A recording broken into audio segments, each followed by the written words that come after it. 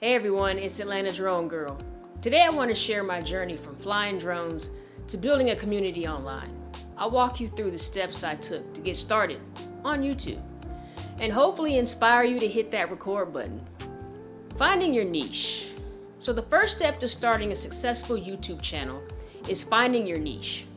What are you passionate about? What unique perspectives can you offer? For me, it was combining my love for drones with my city, Atlanta. Take some time to think about what you enjoy doing and what are your hobbies, interests, or skills. There's an audience out here for everything. About overcoming fear, so I won't lie. So starting a YouTube channel can be scary. I remember feeling shy in front of the camera and doubting if anyone would care about anything that I had to say. The key is is to focus on creating content that you love. The more authentic you are, the more people will connect with you. Remember, everyone starts somewhere. Building your audience. So, growing an audience takes time and consistency.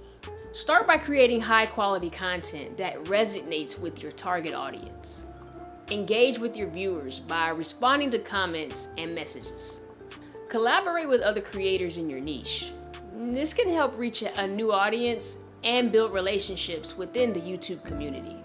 And remember, you know, consistency is also key. So try to upload videos regularly to keep your audience engaged. Use platforms like Instagram and TikTok to promote your YouTube channel.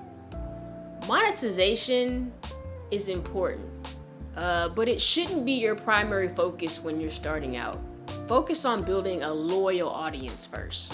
And once you have a solid following, then you can explore different monetization options like ads or sponsorships or even merchandise. Remember, growth takes time. Don't get discouraged. If you don't see results immediately, keep creating, keep learning, and most importantly, have fun. Starting a YouTube channel can be a rewarding experience.